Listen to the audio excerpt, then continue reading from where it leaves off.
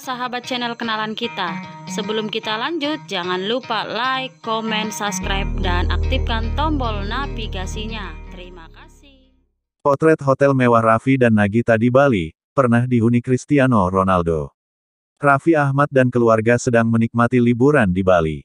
Di sana, mereka menginap di sebuah hotel mewah yang kamarnya amat luas. Kata Raffi, pesepak bola Cristiano Ronaldo pernah menginap di sana. Berikut beberapa fotonya. Saat memasuki tempat menginapnya di Bali, Raffi langsung merasa seperti berada di rumah. Soalnya, hotel tersebut memiliki kamar yang amat luas. Kamarnya memiliki beberapa kamar tidur, ruang keluarga, dapur, hingga kolam renang pribadi. Bahkan, ada juga akses pribadi menuju ke pantai. Ini dia kamar yang akan ditempati oleh Raffi dan Nagita. Kamarnya luas dan terasa sangat nyaman.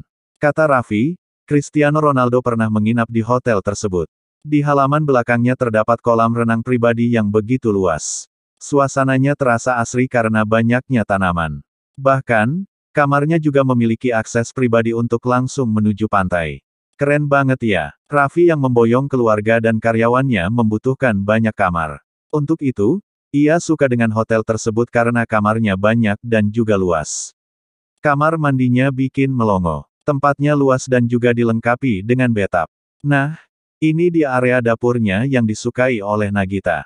Diketahui bahwa Nagita suka memasak meski sedang liburan.